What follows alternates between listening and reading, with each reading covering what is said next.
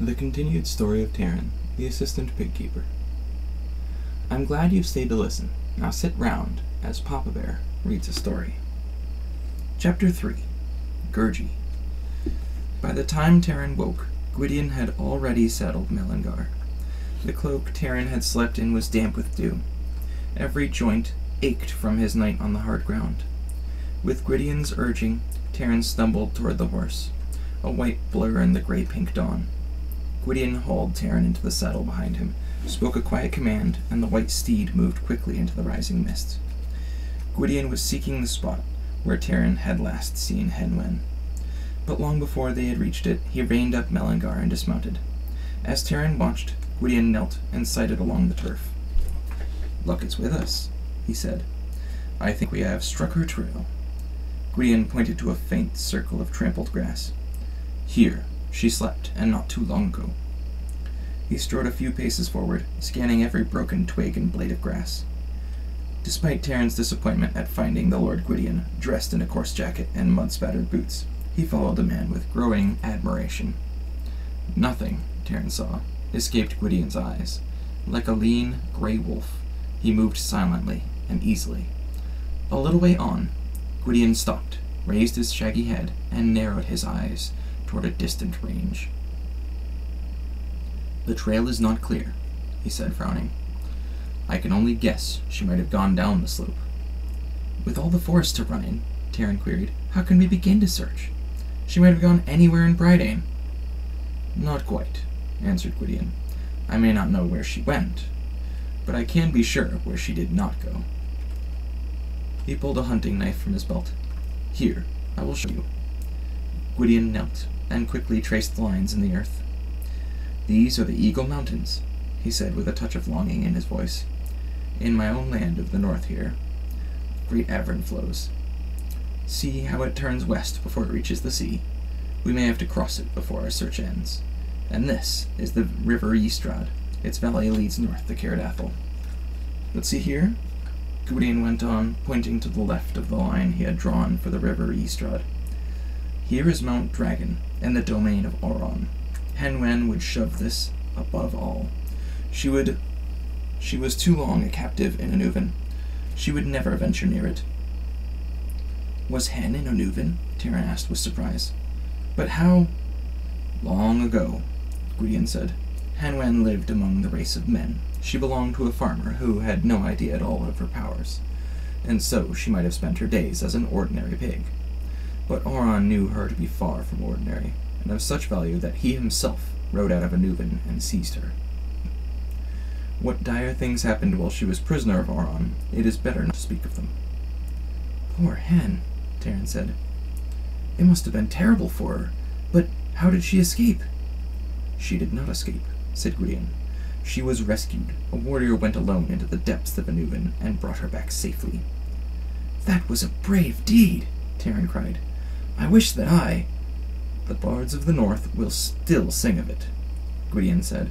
His name shall never be forgotten. Who was it? Taran demanded. Gwydion looked closely at him. Do you not know? he asked. Dallben has neglected your education. It was Coll, he said. Coll, son of Collfrewr. Coll, Taran cried. Not the same. The same, said Gwydion. But, but, Taran stammered. Coll a hero? But he's, he's so bald. Gwydion laughed and shook his head. Assistant pig keeper, he said. You have curious notions about heroes. I have never known courage to be judged by the length of a man's hair, or, for that matter, whether he has any hair at all. Crestfallen, Taran peered at Gwydion's map and said no more. Here, continued Gwydion, not far from Annuvin lies Spiral Castle. This too Hen Wen would avoid at all cost. It is the abode of Queen Achren. She is as dangerous as Arawn himself, as evil as she is beautiful. But there are secrets concerning Achren which are better left untold. I am sure, Gwydion went on, Hen Wen will not go toward Annuvin or Spiral Castle. From what little I can see, she has run straight ahead. Quickly now, we shall try to pick up her trail. Gwydion turned Melyngar toward the ridge.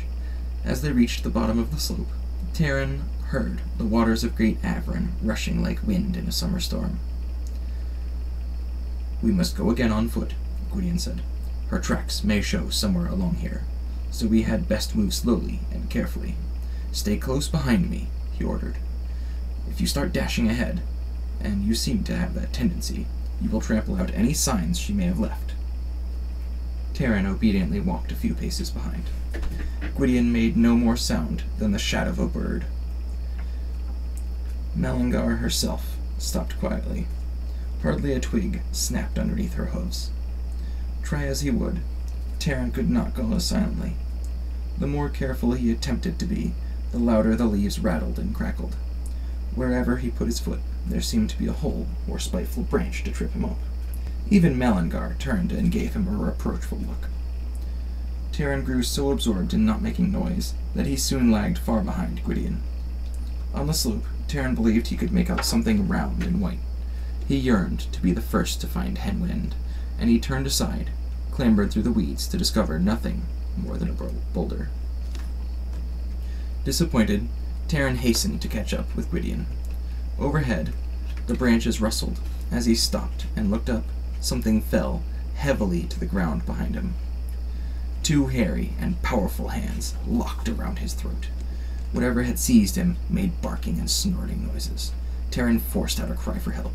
He struggled with his unseen opponent, twisting and flailing his legs, throwing himself from side to the side. Suddenly, he could breathe again. A shape sailed over his head and crashed against a tree trunk.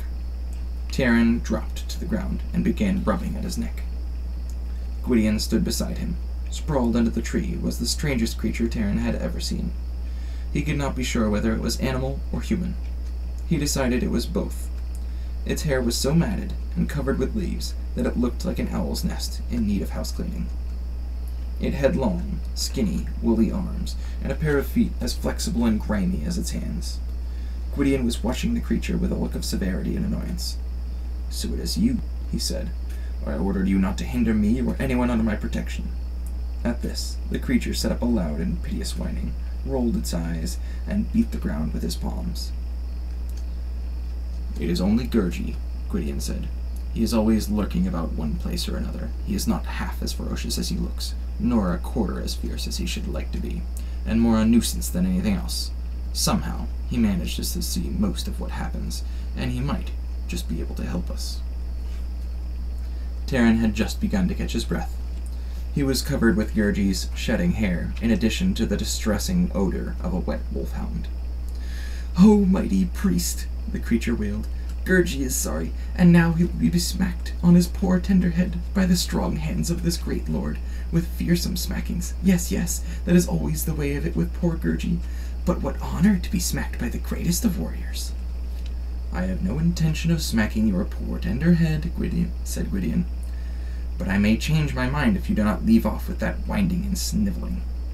Yes, powerful lord, Gurgi cried. See how he obeys rapidly and instantly. He began crawling about on hands and knees with great agility. Had Gurgi owned a tail, Taran was sure he would have wagged it frantically.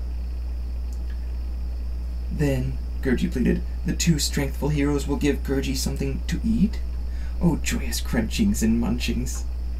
Afterward, said Gwydion, when you have answered our questions. Oh, afterward, cried Gurgi. Poor Gurgi can wait long, long time for his crunchings and munchings. Many years now, when the great princes revel in their halls with feastings, they will remember hungry, wretched Gurgi waiting for them. How long will you wait for your crunchings and munchings? said Gwydion. Depends on how quickly you tell us what we want to know. Have you seen a white pig this morning? A crafty look gleamed in Gurgi's close-set little eyes for the seeking of a piggy. There are many great lords in the forest, riding with frightening shouts. They would not be cruel to starving Gurgi. Oh no, they would feed him. They would have your head off your shoulders before you could think twice about it, Gwydion said. Did one of them wear an antlered mask? Yes, yes, Gurgi cried. The great horns. You will have saved miserable, miserable Gurgi from hurtful choppings? He set up a long and dreadful howling. I am losing patience with you, warned Gwydion. Where is the pig? Gurgi hears these mighty riders, the creature went on. Oh, yes, with careful listenings from the trees. Gurgi is so quiet and clever, and no one hears or cares about him. But he listens. He listens. These great warriors say they have gone to a certain place, but great fire turns them away. They are not pleased, and they still seek a piggy with outcries and hoarsities. Gurgi, said Gwydion firmly, where is the pig? The piggy? Oh, terrible hunger pinches. Gurgi cannot remember. Was there a piggy? Gurgi is fainting and falling into the bushes. His poor tender head is full of air from his empty belly. Taran could no longer control his impatience. Where is Hen Wen, you stupid, silly, hairy thing? he burst out. Tell us, straight off. After the way you jumped on me, you deserve to have your head smacked. With a moan, Gurgi rolled over on his back and covered his head with his arms. Gwydion turned severely to Taran. Had you followed my orders, you would not have been jumped on. Leave him to me. Do not make him any more frightened than he already is. Gwydion looked down at Gurgi. Very well, he said calmly. Where is she? Oh, fearful wrath, Gurgi snuffled. A piggy has gone across the water with swimmings and splashings. He sat upright and waved a woolly arm toward Great Avren. If you are lying to me, said Gwydion, I shall soon find out. Then I will surely come back, and with great wrath. Crunchings and munchings now, mighty prince? asked Gurgi in a high, tiny whimper. As I promised you, said Gwydion. Gurgi wants the smaller ones for munchings, said the creature with a beady glance at Taran. No, you do not, Gwydion said. He is an assistant pigkeeper, and he would disagree with you, violently. He unbuckled a saddlebag and pulled out a few strips of dried meat, which he tossed to Gurgi. Be off now. Remember, I want no mischief from you. Gurgi snatched the food, thrust it between his teeth, and scuttled up a tree trunk, leaping from tree to tree until he was out of sight. What a disgusting beast, said Taran. What a nasty, vicious, violent. Oh, he's not bad at heart, Green answered. He would love to be wicked and terrifying, though he cannot quite manage it. He feels so sorry for himself that it is hard not to be angry for him. But there is no use in doing so. Was he telling the truth about Hen Wen? Asked Taran. I think he was, Gwydion said. It is as I feared. The Horned King has ridden to Caer Dallben. He burned it, Taran cried. Until now, he had paid little mind to his home. The thought of the white cottage in flames, his memory of Dallben's beard, and the heroic Coll's bald head touched him all at once. Dallben and Coll! They're in peril! Surely not, said Gwydion. Dallben is an old fox. A beetle could not creep into Caer Dallben without his knowledge. No, I am certain the fire was something Dallben arranged for unexpected visitors. Hen Wen is the one in greatest peril. Our quest grows ever more urgent. Gwydion hastily continued. The Horned King knows she is missing. He will pursue her. Then, Taran cried, we must find her before he does. Assistant Pigkeeper, said Gwydion. That has been, so far, your only sensible suggestion. Chapter 4 The Gwythaints Melyngar bore them swiftly through the fringe of trees, lining Great Avren's sloping banks. They dismounted and hurried on foot in the direction Gurgi had indicated. Near a jagged rock, Gwydion halted and gave a cry of triumph. In a patch of clay, Hen Wen's tracks showed as plainly as if they had been carved. Good for Gurgi, exclaimed Gwydion. I hope he enjoys his crunchings and munchings. Had I known he would guide us so well, I would have given him an extra share. Yes, she crossed here, he went on, and we shall do the same. Gwydion led Melyngar forward. The air had suddenly grown cold and heavy. The restless Avren ran gray, slashed with white streaks. Clutching Melyngar's saddle horn, Taran stepped gingerly from the bank. Gwydion strode directly into the water. Taran, thinking it easier to get wet a little at a time, hung back as much as he could, until Melyngar lunged ahead, carrying him with her. His feet sought the river bottom. He stumbled and splashed, while icy waves swirled up to his neck. The current drew stronger, coiling like a gray serpent around Taran's legs. The bottom dropped away sharply. Taran lost his footing and found himself wildly dancing over nothing, as if the river was seizing him greedily.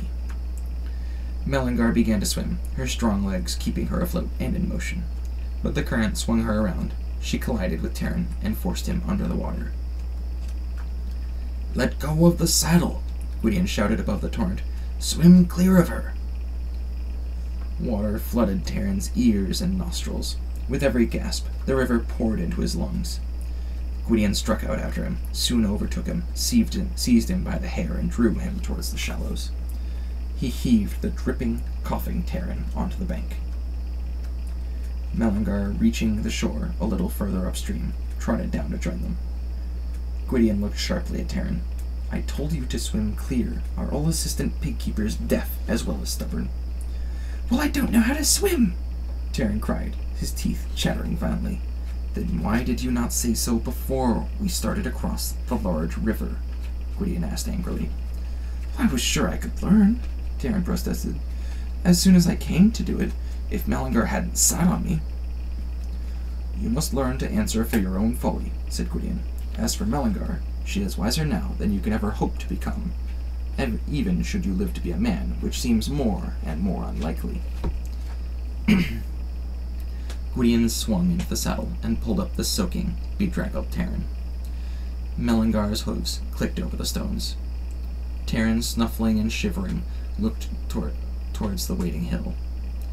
High against the blue, three winged shapes wheeled and glided. Gwydion, whose eyes were everywhere at once, caught sight of them instantly. Gwythaints! he cried and turned Melyngar sharply to the right.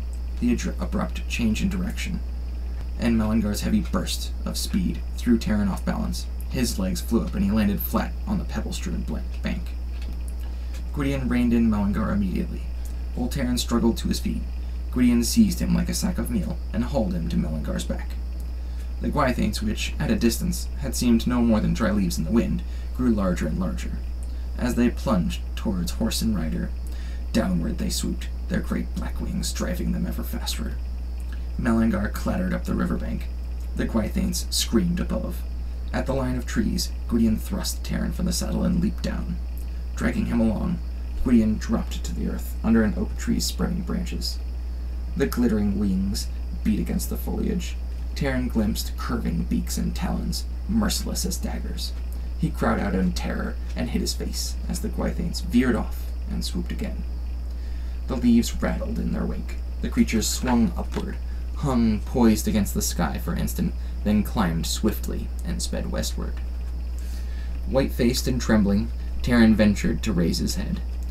Gwydion strode to the riverbank and stood watching the Gwythain's flight.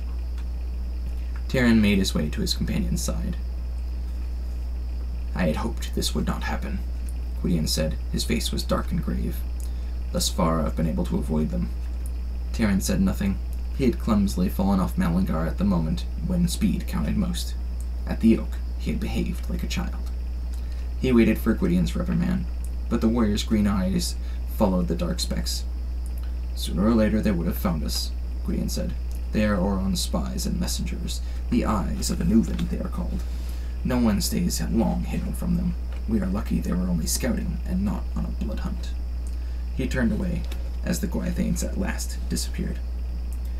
Now they fly to their iron cages in Annuvin, he said.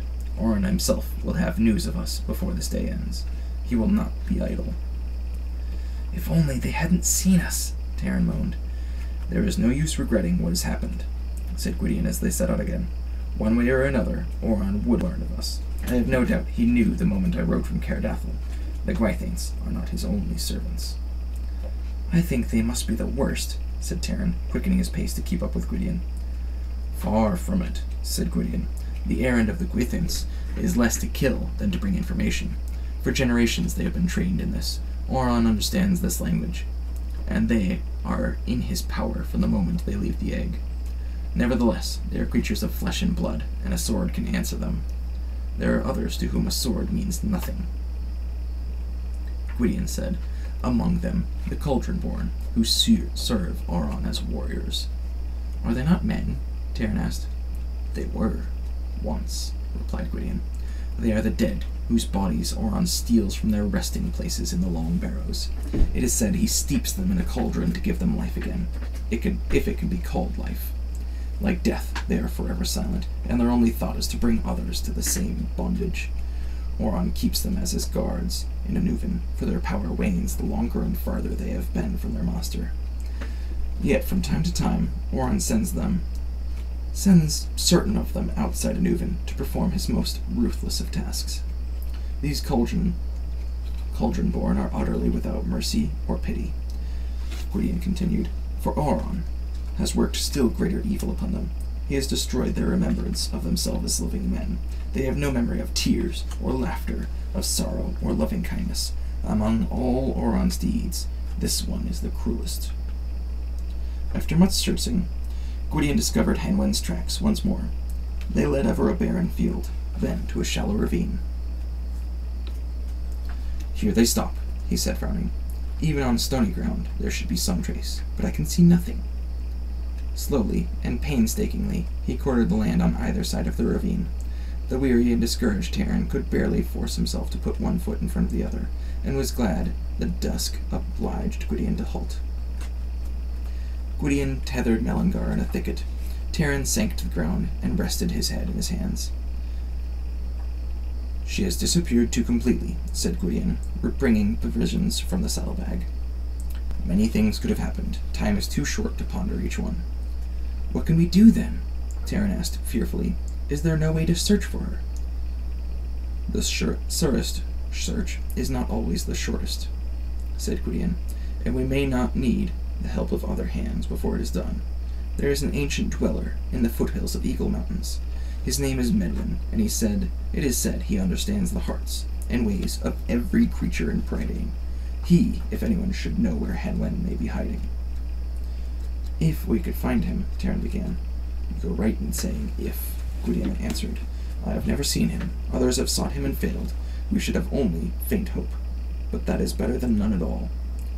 A wind had risen, whispering among the black cluster of trees. From a distance came the lowly baying of hounds. Gwydion sat upright, tense as a bowstring. Is it the Horned King? cried Taran. Has he followed us this closely? Gwydion shook his head. No, no hounds bell like those, save the pack of Gwyn the hunter. And so, he mused, Gwyn too rides abroad. Another of Arawn's servants? Asked Taran, his voice betraying his anxiety. Gwyn owes allegiance to a lord unknown even to me, Gwydion answered, and one perhaps greater than Arawn. Gwyn hunter rides alone with his dogs, and where he rides, slaughter follows. He has fallen foreknowledge of death in battle, and watches from afar, marking the fall of warriors. Above the cry of the pack rose the long, clear notes of a hunting horn. Flung across the sky, the sound pierced Taran's breast like a cold blade of terror. Yet, unlike the music itself, the echoes from the hills sang less of fear than of grief. Fading, they sighed that sunlight and birds, bright mornings, warm fires, food and drink, friendship, and all good things had been lost beyond recovery. Gwydion laid a hand on Taran's brow. Gwyn's music is a warning, Gwydion said. Take it as a warning, for whatever profit that knowledge may be, but do not listen overmuch to the echoes. Others have done so, and have wandered hopelessly ever since. A whinny from Melyngar broke Taran's sleep. As Gwydion rose and went to her, Taran glimpsed a shadow dart behind a brush. He sat up quickly. Gwydion's back was turned. In the bright moonlight, the shadow moved again. Choking back his fear, Taran leaped to his feet and plunged into the undergrowth. Thorns tore at him. He landed on something that grappled frantically with him. He lashed out, seized what felt like someone's head, and an unmistakable odor of wet wolfhound assailed his nose. Gurgi! Taran cried furiously. You sneaking little the creature curled into an awkward ball as Taran began shaking him. Enough! Enough! Reed called. Do not frighten the wits out of the poor thing. Save your own life next time, Taran retorted angrily to Gwydion, while Gurgi began howling at the top of his voice. I should have known a great war leader needs no help from an assistant pigkeeper. Unlike assistant pig keepers, Gwydion said gently, I scorn the help of no man, and you should know better than to jump into thorn bushes without first making sure what you will find. Save your anger for a better purpose. He hesitated and looked carefully at Taran. Why, I believe you did think my life was in danger.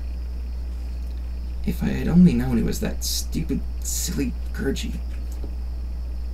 The fact is, you did not, Gwydion said, so I shall take the intention for the deed. You may be many other things, Taran of Caer Dallben, but I see you are no coward. I offer you my thanks, he offered, bowing deeply. And what of poor Gurgi? Howled the creature. No thanks for him. Oh no, only smackings by great lords, not even the small munching for helping find a piggy. We didn't find any piggy, Taran replied angrily. And if you ask me, you know too much about the Horned King. I wouldn't be surprised if you'd gone and told him. No, no. The Lord of the Great Horns pursues wise, miserable Gurgi with leapings and gallopings. Gurgi fears terrible smackings and whackings. He follows kindly and mighty protectors. Faithful Gurgi will not leave them, never. And what of the Horned King? Gwydion asked quickly. Oh, very angry, whined Gurgi. Wicked lords ride with mumblings and grumblings because they cannot find a piggy. Where are they now? asked Gwydion. Not far. They cross water, but only clever, unthanked Gurgi knows where. And they light fires with fearsome blazings. Can you lead us to them? Gwydion asked. I would learn their place. Gurgi whimpered questioningly. Crunchings and munchings? I knew he would get around to that, said Taran. Gwydion saddled Melyngar, and clinging to the shadows, they set out across the moonlit hills. Gurgi led the way, loping ahead, bent forward, his long arms dangling. They crossed one deep valley, then another, before Gurgi halted on a ridge. Below the wide plain blazed with torches, and Taran saw a great ring of flames. Crunchings and munchings now? Gurgi suggested. Disregarding him, Gwydion motioned for them all to descend the slope. There was little need for silence. A deep, hollow drumming throbbed over the crowded plain. Horses whickered. There came the shouts of men and the clank of weapons. Gwydion crouched in the bracken, watching intently. Around the fiery circle, warriors on high stilts beat upraised swords against their shields. What are those men? Taran whispered. And the wicker baskets hanging from the posts? They are proud walkers, Gwydion answered, in a dance of battle. An ancient rite of war from the days where men were no more than savages. The baskets, another ancient custom, best forgotten. But look there, Gwydion cried suddenly, the horned king, and there, he exclaimed, pointing to the column of horsemen, I see the banners of Cantrev Rigad, the banners of Du Dalgladen, and of Maur, all the Cantrevs of the south. Yes, now I understand. Before Gwydion could speak again, the horned king, bearing a torch, rode to the wicker baskets and thrust the fire into them. Flames seized the osier cages. Billows of foul smoke rose skyward. The warriors clashed their shields and shouted together with one voice. From the baskets rose the agonized screams of men. Taran gasped and turned away. We have seen enough, Gwydion ordered. Hurry, let us be gone from here. Dawn had broken when Gwydion halted at the edge of a barren field. Until now, he had not spoken. Even Gurgi had been silent, his eyes round with terror. This is a part of what I have journeyed so far to learn, Gwydion said. His face was grim and pale. Arawn now dares try force of arms. With the Horned King as his war leader, the Horned King has raised a mighty host and they will march against us. The sons of Don are ill prepared for so powerful an enemy. They must be warned. I must return to Caer Dathyl immediately. From a corner of woodland, five mounted warriors cantered into the field. Taran sprang up. The first horseman spurred his mount to a gallop. Melyngar whinnied shrilly. The warriors drew their shields. And this concludes the fourth chapter of Taran's tale. I will continue the next chapter in the next episode. Thank you for watching, and remember, have a good day. You deserve it.